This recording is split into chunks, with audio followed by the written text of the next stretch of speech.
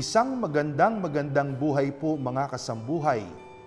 Ang December 8 ay dakilang kapistahan ng kalinis-linisang paglilihi sa ating Inang Maria o Solemnity of the Immaculate Conception. At ito po ay isang holiday of obligation para po sa atin dito sa Pilipinas. Sapagkat ito pong Immaculate Conception or ang kalinis-linisang paglilihi kay Maria ang patrona ng buong bayang Pilipinas. Alam niyo po itong uh, pangaral na ito ng simbahan na atin pong uh, ipinagdiriwang ay uh, kadalasan nagiging dahilan ng maraming pagpuna ng iba pong mga kapatid natin na mga Kristiyano sabi daw, bakit masyado daw natin pong binibigyan ng pagpapahalaga at pribilehyo ang ating mahal na ina?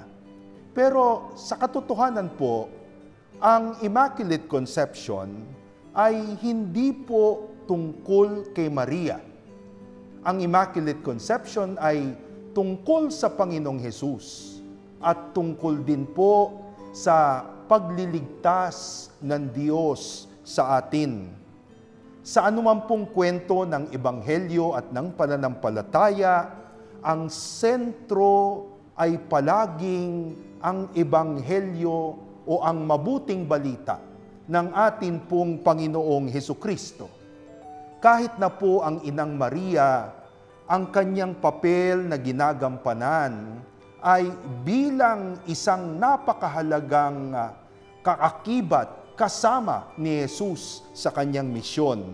Yan po ang pahayag ng Apostol San Pablo sa isa po sa mga pinakamatandang pahayag tungkol kay Maria na atin pong mababasa sa Galatians chapter 4 verse 4. In the fullness of time, God sent His Son, born of woman palagi pong si Jesus ang nasa sentro. Kaya kung ito man pong pagdiriwang natin ay tinatawag natin na Immaculate Conception, ang kalinis-linisang paglilihi sa Inang Maria, ito po'y sapagkat kinakailangan ang Inang Maria sa kwento ng buhay at pagliligtas ng Panginoong Yesus. Alam niyo po kung ako'y uh, nagmimisa. Isa po sa mga tinitignan ko kung minsan ay yung, uh, yung napakagandang mga ukit sa malaking hostya na gamit ng pari. At isa po sa mga nakaukit doon ay ang mga salitang Sinyo Maria, oh, of Mary, of the flesh of Mary. Kung si Kristo man ay nagkatawang tao, nagkalaman, at may lamang inialay para sa ating kaligtasan. Ang lamang ito ay nanggaling kay Maria. Walang ibang taong naging pinanggalingan nito ang laman ni Jesus na inialay sa krus, kung hindi si Maria.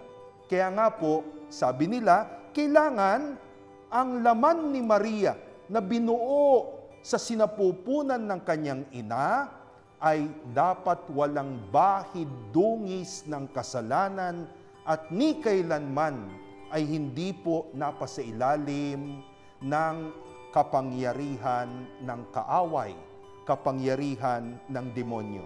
Napaaganda po ang pahayag ni San Ignacio ng Antioch. Sabi niya, Mary's virginity and Mary's giving birth and even the Lord's death escaped the notice of the Prince of the world. Ito kanya ang tatlong misteryo na ginawa ng Diyos ng palihim na hindi po napansin ni Satanas. Ang kalinis-linisang paglilihi ni Maria, ang pagsilang ni Jesus, at ang kamatayan ni Jesus sa krus. At dahil po diyan, nagawa ng Diyos ang kaligtasan ng tao at wala pong nagawa si taning upa ito, upang ito ay hadlangan. Ngayon, alam niyo po, itong Immaculate Conception, hindi naman po puro pag-iisip lang ng theology. Kasi yan po ang sinasabi ng iba. Ay, theology lang yan na simbahan. Yan eh, mga kwento-kwentong pinagtagpi-tagpi ng mga uh, mga naglilikha ng doktrina ng simbahan. Hindi po. Meron din pong napaagandang basihan sa Biblia ng Immaculate Conception. Unang-una po, matutunghayan natin sa Ebanghelyo ni San Lucas, chapter 1, verse 28, ang pagbati ng anghel kay Maria, ang pagbati ng langit kay Maria. At anong sinabi ng anghel? Sabi niya, Aba, Ginoong Maria, napupuno ka. You are full of grace. Ke karitomine. Alam niyo po, may kaibahan yung puno ka, napupuno ka, you are full of grace sa filled with grace. Di ba po? Kung tayo'y dumadaan sa gasolinahan at sinabi mo dun sa maglalagay ng gasolina, full tank, full tank, ibig sabihin nun, lahat, buo. Oh, hindi tatanungin po ng gasoline boy, ah, full tank, kalahati ho ba? Hindi po. Pag sinabi mong full, kay karitomine, ibig po sabihin talagang si Maria ay punong-puno ng grasya, walang portion, walang bahagi, walang espasyo ang disgrasya. Yan po ang unang napakahalagang biblical verse na palagay ko ay dapat po nating panghawakan dito po sa napaagandang pangaral tungkol sa Immaculate Conception. Pangalawa naman po ay ang mababasa natin sa Matthew chapter 19 verse 26.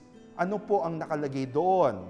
Sabi po doon, with men this is impossible, but with God all things are possible. No? So, alam niyo po, hindi ko maintindihan yung iba kapag nag-isip, sasabihin nila, walang imposible sa Diyos. Pero kung pinag-usapan na po natin na si Maria ginawa ng Diyos at niloob ng Diyos na isilang na walang bahid ng kasalanan, sabi nila, imposible. Abe, imposible. E sabi natin, sa Diyos, walang imposible. Yan nga po ang uh, sinabi ng isa po sa mga Franciscan Blessed na ang pangalan ay si John Duns Scotus na binatify ho ni John Paul II ng 1993. Sabi niya, Decuit, potuit, ergo, fetchit. Pwedeng gawin ng Diyos karapat dapat gawin ng Diyos, eh di ginawa ng Diyos. Oh, anong problema doon? Di ba? Eh sabi mo nga, nothing is impossible with God. Oh, palagay ko po, yan dalawang verse na yan ng Bible ay napakahalaga bilang batayan kung ganon ng doktrina katolika tungkol po dito sa Immaculate Conception. Pero, wag din po nating isipin na ang katolika, ang katoliko lang ang may ganitong doktrina. Sa katunayan po, bago po ang doctrine at piyesta ng Immaculate Conception ay sinimulan ng 1854, ang buong simbahan, ang kalakhang kristyano ay mayroon na pong kapistahan ng pagsilang ni Maria at ang tawag po dyan ng ating mga kapatid na Greek Orthodox ay Panagia. Pan-agia. Galing po sa dalawang Griegong salita. Pan at agios. O, yung pan, ibig sabihin po nun, eh, panorama. O, pangkahalatan. Agios means holy. So therefore, Panagia means the feast of Mary, the panorama of holiness. At ang ating pong mga kapatid na Greek Orthodox, ginamit pa nga ho yung salitang pre purified. Si Maria isinilang pre-purified.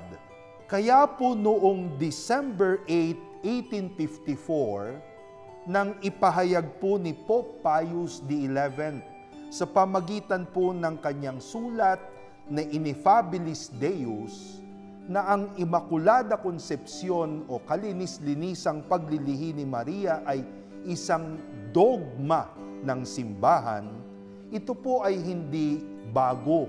Ito po ay dokumentasyon lamang ng matagal ng pangaral at tradisyon ng simbahan sa unang sa mga unang panahon pa. Ito po ang Immaculate Conception. Samahan po ninyo kami uli sa susunod nating pagninilay at pag-aaral dito po sa inyong gabay sa pagsamba at buhay. Ako po si Father Domi Guzman mula po sa Society of St. Paul, doing all for the gospel. A blessed life sa inyong lahat.